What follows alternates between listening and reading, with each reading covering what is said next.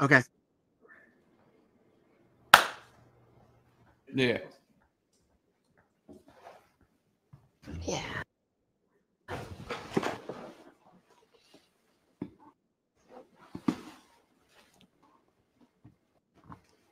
Ready?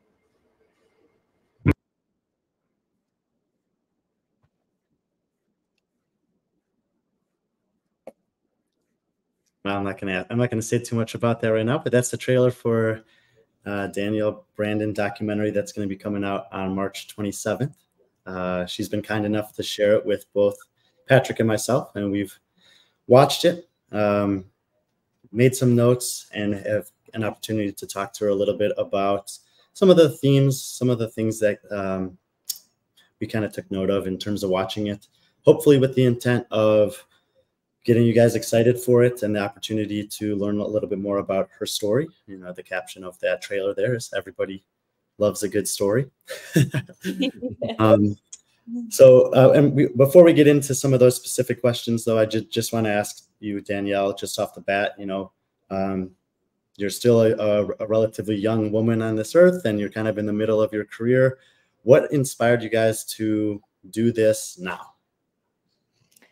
Um, I think now is was just a better time for me because I never at the beginning of my career wanted to um, be defined by something like this. I never wanted my story to be as weird as it sounds. I never wanted my story to be the reason why people followed me or why people um, could almost like relate to me. I think I wanted to almost like build something for myself and on my own. Um, because I think oftentimes when people have come from a background like this or come from, you know, whatever it is they've gone through, I think that's the thing that people really attach to. And um, I just wanted to wanted people to follow me for not I shouldn't say like the right reasons, but follow me for who I am today and not who I was. Um, yeah. I think that's I think that's that's really well said. And uh, you know, this is kind of a, a, little bit of a strange interview we were talking about because we've all seen the movie, but when you guys are watching this, you mm-hmm. won't have even had the opportunity to watch it yet. It'll still be about probably five to seven days before the documentary actually does get released. Uh, and and when that does happen, Danielle, uh, do you know where and how people will be able to watch it? Yeah, you can watch it free on YouTube. So it'll be free, like very accessible to everybody. Will it be on your channel or the R.A.D channel or? Um, you know that I'm not sure of. Okay. But I think um, it potentially could be on mine and maybe another one. Mm-hmm. So. You search Danielle Brandon Energy documentary on YouTube, you're gonna It'll pop. Yeah, yeah. it'll be somewhere. Oh. Okay, so we have five questions that we've come up with. They're sort of these kind of themes that we identified throughout the movie. Danielle doesn't know what we're going to ask her at all. Um, and we're just going to leave it kind of open ended. This is not going to be kind of like a traditional uh, free flowing interview style. So I'm going to ask a question. We'll see what she has to say about it. Patrick will do the same, and we'll go back and forth for kind of five rounds of that and uh, and see what happens. So, first uh, question out the gate, Danielle. What do the words friends and family mean to you? Ooh, mm, I don't think I really differentiate between the two much um, in terms of like as cheesy as it is my friends are my family um, i think my whole life i've kind of had to pick my family pick my family and so and those have always been what you would consider friends so I guess I just like kind of group them all into one friends and family, family, friends, same thing. Hmm. Perfect. I'll pass off to Patrick for the next one. It, this this question kind of relates to that one. Um, how hard is it as a person? Uh, how hard is it for DB to yeah. gain trust from friends or family or complete strangers? Ooh, I think that's um, I mean, very tough. Mm-hmm. Quite quite literally to answer that, it is really tough for me. I think um, Cooper is a good testament to that and knowing my kind of like boundaries and trust and um, where I put people in my life or how I keep people in my life. I think um, some people will make a couple comments even in the documentary about like if you're in my circle, you're in my circle and you feel that. Mm-hmm. Um, so if I trust you, I really trust you. If I don't, then you're probably outside of the circle. How big is that circle? Very close. Okay. Very close. Sometimes I open it, mm-hmm. but then I, I'm reminded why I should keep it closed, usually. Fair enough. All right. Third one. Uh, to what extent or not are you willing to admit that to some degree sports kind of saved you? Oh, I'll admit it all day. I mean, sports and people. Like, I don't think it was sports alone. I think it was the people within sport that also saved me. Yeah.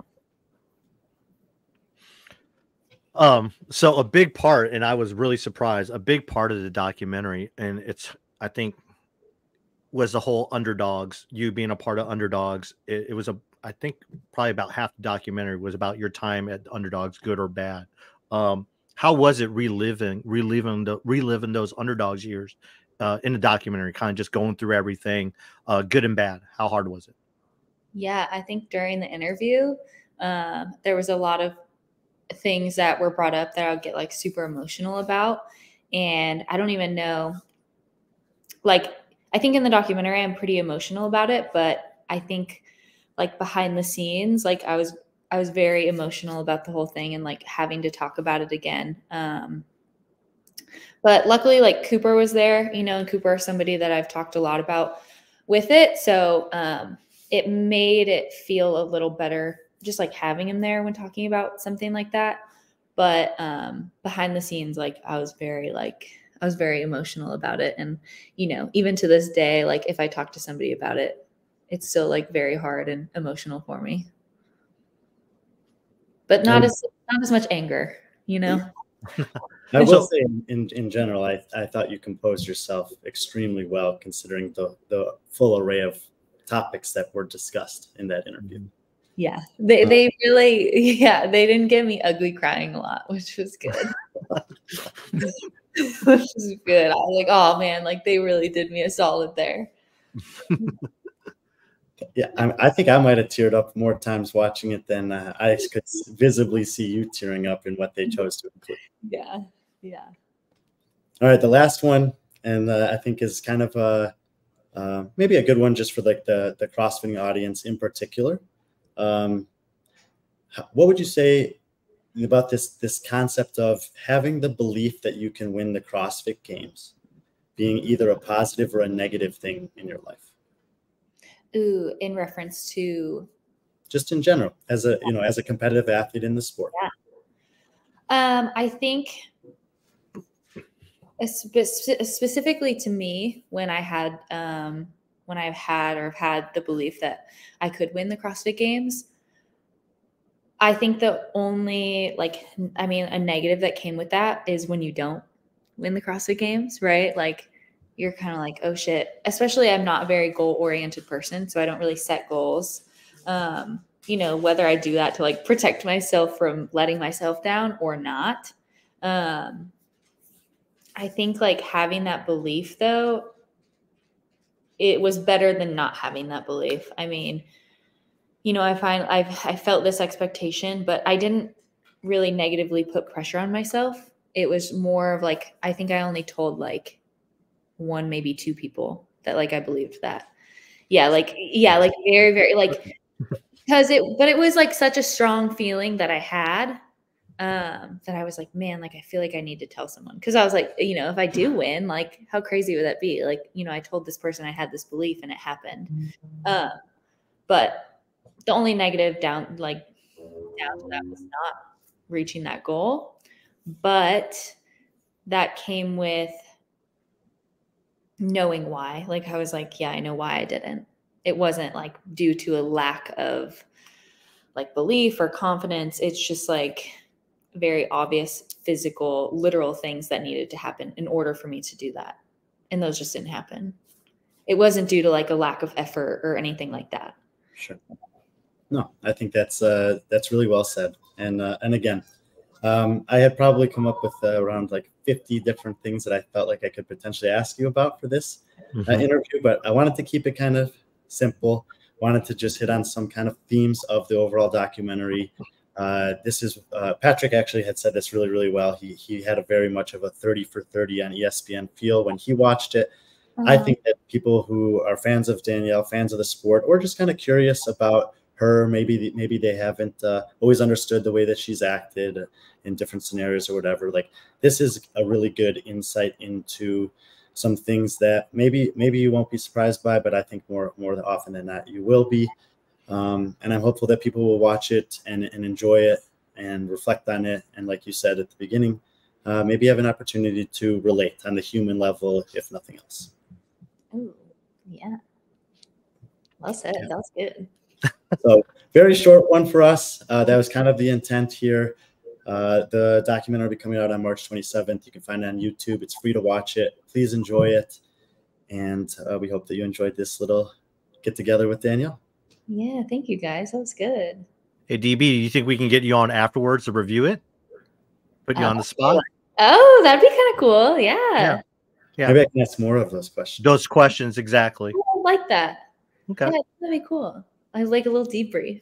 Yeah. Yeah. Maybe Exactly. maybe if, if you if you think there's questions people would have if they had the same questions, you know, that'd be cool. Yeah.